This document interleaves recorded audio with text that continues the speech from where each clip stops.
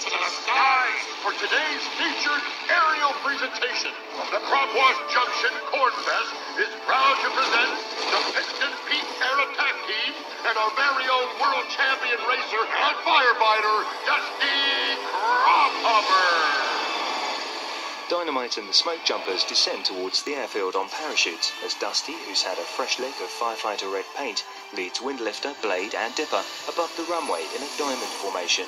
As the crew drop water around the airfield, the smoke jumpers hit ramps on the runway. Whoa. They perform stunt jumps. The Propwash crew are wide-eyed in the stands where Pulaski, Harvey and Winnie are amongst the guests from Piston Peak. Dusty flies by, his torque meter comfortably sailing past 50. Trailing vapor, he picks up speed and powers into a climb, looping the loop through the bright blue sky.